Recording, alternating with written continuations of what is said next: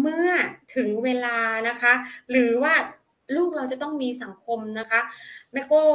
มีเทคนิคยังไงนะคะ ก็คือเราทำเราเป็นเพื่อนก่อนก็ในเมื่อซ้ายขวาหน้าหลังบ้านเราไม่มีเพื่อนอะมิกกี้ลูกคนเดียวมันหนักข้าไปใหญ่แล้วค่ะ เราก็ต้องทำตัวเราเป็นเพื่อนก่อนนะคะมิกกี้อ่ามีเพื่อนอะแม่ก็ต้องไม่ใช่แม่แล้ว วันนี้แม่ต้องเป็นมินนี่แล้วแม่ต้องเป็นเพื่อนนะ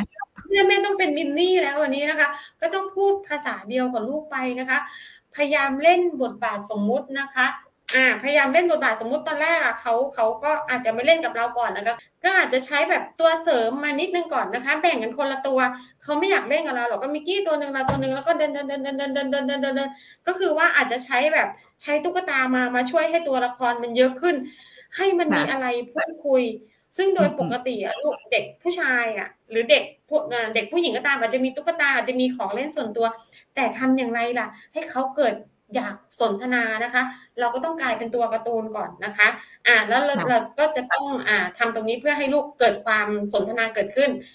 ก็เริ่มเริ่มมีปฏิสัมพันธ์ดีกว่านะคะก็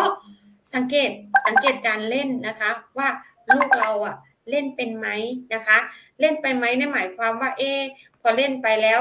หงุดหงิดหรือเปล่า หรือพอเล่นกับเราแล้วเริ่มเริ่มจะโมโหเราและอ่าคอยสังเกตว่าไฟไหนพอยไหนที่อารมณ์ลูกจะมาขนาดเรายังโมโหกับเพื่อนนี่แน่นอนคงคงคงคงจะต้องเป็นในลักษณะนี้นะคะ ก็เล่นเล่นจน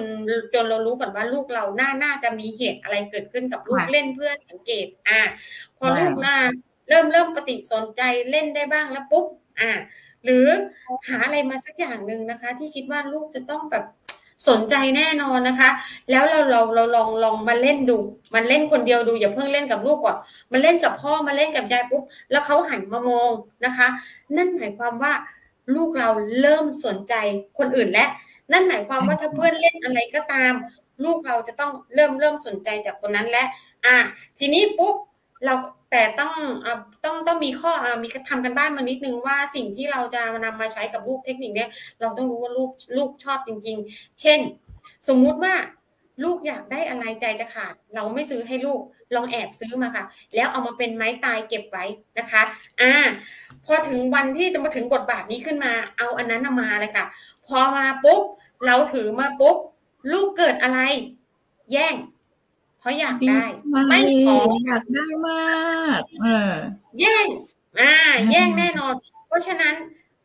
ขนาดเรายังแย่งกับเพื่อนแย่งแน่ กับคนอื่นแย่งแน่มาเพราะฉะนั้นนี่แหละค่ะ เรามาลองดูทักษะก่อนว่า ทักษะลูกเราพอที่จะไปกับตรงนั้นได้ไหมนะคะ พอลูกจะแย่งเราก็ต้องบอกลูกกันว่า แม่ให้นะลูกแม่ซื้อมาให้หนูนี่แหละ แต่ต้องขอก่อนอะก็ส อนลูกขอก่อนเพื่อที่ลูกจะได้ไปขอเพื่อน